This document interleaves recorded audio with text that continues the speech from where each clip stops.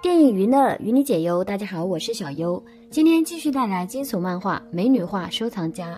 这天，本地著名收藏家杰克先生热情招待了阿芝小姐。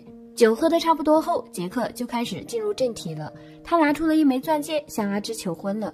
由于杰克太过突然，阿芝有些被吓到了，因为他们俩根本就没有见过几次面。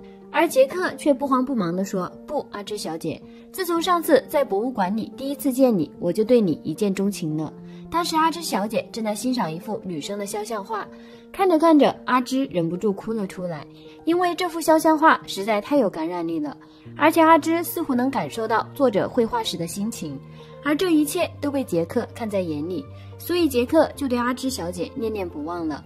听完杰克的讲述，阿芝感到很不好意思。第一次见面让你见笑了，杰克激动地说：“没有没有，我很感动。有人居然会为我的作品而哭泣，这说明我们是有心灵上的共振。”阿芝听了非常疑惑：“那是您的作品吗？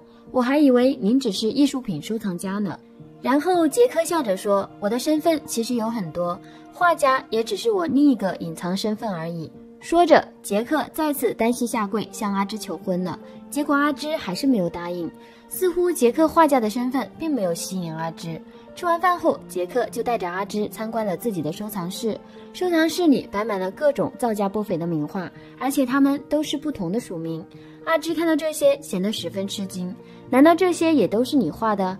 杰克得意地说：“是啊，我不想太暴露身份，所以用了很多化名。现在你感觉如何？愿意接受我吗？”谁知道阿芝依旧表示很抱歉。没关系，我不强求。既然来了，要不要看看我最珍贵的收藏？说完，杰克就带着阿芝来到了最里面的一个房间。打开房门后，阿芝傻眼了。只见墙面上摆放着好几幅美女的画像，里面美女的表情十分惊恐，有的张大嘴呼喊着，有的抱着头不知所措，还有一个在撞墙。更诡异的是，他们都在动。阿芝诧异地问：“这些画怎么都会动？”见阿芝提问了，杰克就大发慈悲地告诉给他，这些都是曾经拒绝我的女人，她就是我第一个作品。当时我追求了她十几次，结果全被拒绝了。难道我长得丑就不配拥有爱情吗？最后一气之下，我将它封印在了这个画框里，从而变成了我的作品。原来这个杰克天生就有一种超能力，在他的视野里，他只要用画框圈进去，任何东西都可以被他封印。而墙上的这些女人曾经都拒绝过杰克，最后的下场就是成为了他的收藏品。说完自己的故事后，杰克变得暴躁起来，并且还拿出了一个空的画框。很明显，杰克的下一个收藏品正是阿芝小姐。阿芝见状，吓得撒腿就跑。由于阿芝躲闪及时，在画框合拢之前逃出了杰克的视线之外，但杰克一点都不慌，因为他信心十足，进来的女人没有一个可以逃出去的。最后，在杰克的追逐下，阿芝躲进了一个房间里。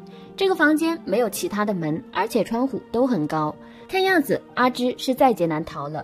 就在杰克举起画框的一瞬间，阿芝一个躲闪，躲到了一面镜子后面。随着咔嚓一声，杰克被自己封印进了画框里了。因为他刚刚合上画框的时候，刚好对准的是镜子中的自己。接着，阿芝从镜子后面走出来，捡起画框，并向里面的杰克宣布：“你犯下严重的非法拘禁罪，现在将你逮捕归案。”原来这个阿芝是个女警察，她早就盯上杰克了。最后，阿芝来到收藏美女画的房间，打开房门后，那些被封印的美女们重新获得了自由。画面一转，阿芝过来拜访了戴蒙大叔。原来对付杰克的方法正是戴蒙大叔教他的。为了报答戴蒙，阿芝就把杰克的画送给了戴蒙。看到这一集，戴蒙算是做了一件好事哦。故事到这儿也就结束了。电影娱乐与你解忧，下次再见。